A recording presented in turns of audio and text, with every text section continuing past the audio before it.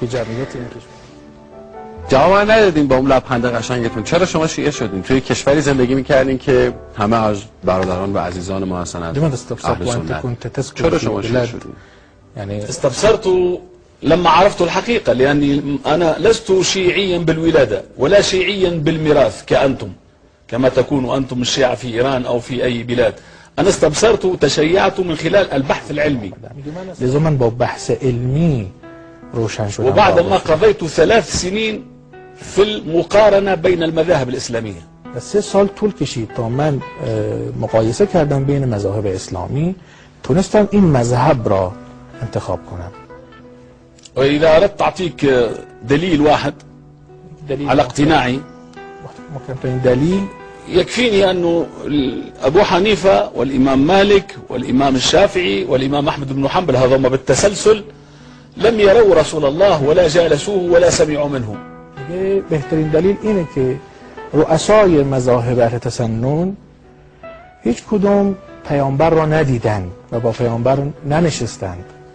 وبينهم وبين رسول الله أقل تقدير 150 عام. و بین آنها و زمان پیامبر حداقل 150 سال بود. وخصوصا أنهم ظهروا بعد الفتنة الكبرى التي حدثت بين الصحابة. و آنها وقتی ظاهر شدند که فتنه عظما و بزرگی که بین صحابه پیغمبر به وجود آمد ظاهر شدند. الفتنة الكبرى التي كفر فيها الصحابة بعضهم بعض وقاتل فيهم بعضهم بعض وقتل بعضهم بعض. فتنه ای که در آن باعث شد صحابه پیامبر همدیگر رو تکفیر کنند همدیگر رو کافر خطاب کنند و با همدیگر بجنگن و همدیگر رو حتی به قتل برسانند و به کشتن همدیگر وبعدما أبيحت المدينة المنورة مدينة رسول الله إلى جيش اليزيد ثلاثة أيام فعل فيها كل المنكرات. و بعد از اون فتنه یزید لشکر یزید مدینه منوره شهر پیغمبر را برای خود آزاد. لشکر اون گفت هر کاری کردید آزادید.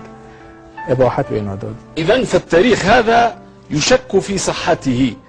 يشك يعني الرسول صلى الله عليه وآله وسلم يقول دع ما يريبك إلى ما لا يريبك. يعني الشيء الذي تشك فيه اتركه وخذ الشيء الذي لا تشك فيه. مسئله ما رو خیلی در شک انداخت و پیامبر سفارش کرد که چیزی که شک برانگیزه کنار بگذارید. ومن هنا عرفنا كما يحدثنا المؤرخون بأن الإمام علي ولد تقريبا في حجر رسول الله. رباه رسول الله وعلمه رسول الله وسماه باب مدينة علمي در حالی که همه میدانند که حضرت علی علیه السلام در دامان پیغمبر به دنیا آمد و بزرگ شد. ثم ثم بحثي بحثي كله بله. تركز على هذه النقطة العلمية. الإمام علي أعلم الصحابة وكل الصحابة سألوه. میگه اه، مرکز محوریت بحث علمی من این که حضرت علی علیه السلام اعلمترین صحابه پیغمبر بود و همه از ایشان سوال می‌کردن. عالم تونسي اسمه ابن عرفة من علماء الزيتونة. یکی از علمای تونس به نام ابن عرفة. قبلي بزمان طويل قال ثبتت عندي ولاية علي على الكل. میگه چندین سال قبل از من ایشون میزیسته گفته بود که ولایت علی ابن ابی طالب بر من ثابت شد. فقال له علماء زيتونة بماذا ثبتت؟ قال احتياء استغناؤه عن الكل واحتياج الكل إليه دل على أنه إمام الكل. میگه اعتراض کردن علمای زیتونه شهر زیتون در تونس که چرا این حرفا می‌زنی؟ چرا میگی علی از همه بهتره؟ گفت به خاطر اینکه همه محتاج علیت و علی به کسی احتیاج علمی نداشت. إذا العقل عقلا يقول اتباع الإمام علي أولى من اتباع المذاهب الأربعة أو الخمسة أو العشرة عقل سالم به من میگه که پیروی از این شخص که همه محتاج او هستند بهتر است. فإخواننا أهل السنة والجماعة يقتدون بالأئمة الأربعة ولكن هناك انقطاع بين الأئمة الأربعة ورسول الله صلى الله عليه وآله وسلم. برادران أهل تسنن با چهار تا امام که رؤسای مذهبشون هستن اقتدا میکنن که آنها فاصله زیادی با پیغمبر دارن و حتی بعد از آنها نیز دیگه امامی وجود نداره. بينما الشيعة يقتدون بأئمة من أولاد الإمام علي عليه السلام إلى علي الذي ما في انقطاع بينه وبين رسول الله صلى الله عليه وسلم شیعه به کسانی اقتدا میکنن که فاصله ای با پیامبر نداشتن. مازال دليل واحد, دلیل يعني إذا قلت أنا عقلا اثنا عشر إمام اثناش عقل اثناش عقل متفقون كلهم على فكر واحد وعلى عقيدة واحدة. وعلى فقه واحد.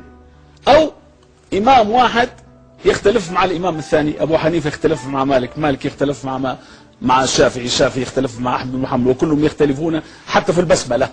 میگه عقلمون اینو میگه. وقتی دوازده امام شیعه که ما پیرو اونها هستیم این دوازده تا بر یک چیز اتفاق نظر دارند و بر یک چیز تأکید میکنند بهتر از پیروی بشن.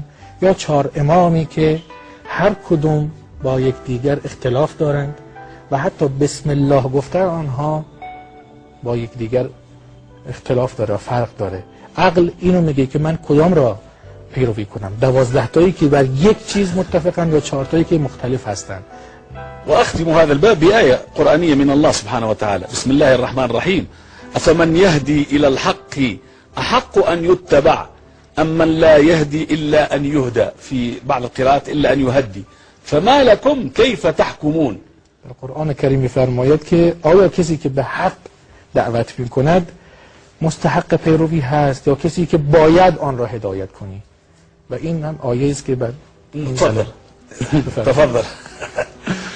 أولي اسمحني إذا تكلمت كثيرا. بگه ببخشید اگر من اطاله کلام کردم. اولین باری که نام مقدس حضرت امیرالمومنین رو شنیدین توی کشور و دیار و سرزمینی که شاید دور بودن یه مقدارم بیگانه بودن از این واژه از نام مقدس حضرت امیر توی اون اسنای جوانی و اینها کی بوده؟ بپرسید کی بوده؟ چجوری آشنا شدن با حضرت امیر مرة يعني سمعت. اسم الإمام علي كيف كان شعورك ومتى وأين كان أوه، الإمام علي بن نعوم تظفري الإمام علي عليه السلام احنا عندنا في كل تونس. النساء لما يلدن الأطفال الصغار وفقط يعطس يعني إذا عطس. فتقول له قول محمد قول علي قول صلاة عالنبي. دار الشر محمد وعلي حاضر. میگه من از کودکی از شیرخوارگی با اسم علی آشنا شدم. چرا که در تونس رسمی هست که زنان تونسی وقتی که بچه به دنیا میارن. این بچه اولین عطسه ای که می‌کنه این نوزاد میگن به اسم محمد بگو محمد بگو علی صلوات بفرست بر محمد و آل نبی. محمد و علی هستند حاضرند شر و شیطان فرار کرد. میگه این رسم ماست من از في كل شیرخوارگی العائلات موجود. وأنا صغير السن وكنت أسمع مداح يأتي في بطحة دار السماوي اللي هي دارنا. ويسرد قصص وبطولات الإمام علي عليه السلام كيف كان هو سيف الله المسلول وأسد الله الغالب وكان ينتصر في كل الحروب والغزوات ويجلي الكربات عن الرسول صلى الله عليه وآله وسلم. در کودکی اونجا شخصی می آمد ذاکری بود که روایت میگفت قصه میگفت داستان میگفت به بچه ها به کودکان و از داستان ها و شجاعت ها و جوانمردی های حضرت علی که شمشیر پیروز خدا بود به ما میگفت من از اونجا عاشق این شخصیت شدم. فكنا على يقين ان ما في واحد شاب من من نعومة أظفاره من ما يحب الإمام علي. كلهم يحبون الإمام علي عليه السلام. ولكن حبهم لشجاعته لأن كل طفل يحب أن يكون شجاع. يتمثل بهركول يتمثل بماسيست يتمثل بشمشون الجبار. فلما يسمع علي بن أبي طالب كشخصية إسلامية يتمنى أن يكون علي بن أبي طالب.